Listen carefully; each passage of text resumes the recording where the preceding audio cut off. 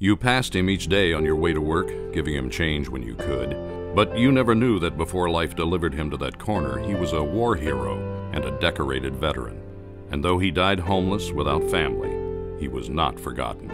The Dignity Memorial Network pays tribute to eligible homeless veterans, providing free burial with full military honors. The Dignity Memorial Network, America's leading funeral homes and cemeteries, united to bring you the services you need when it matters most.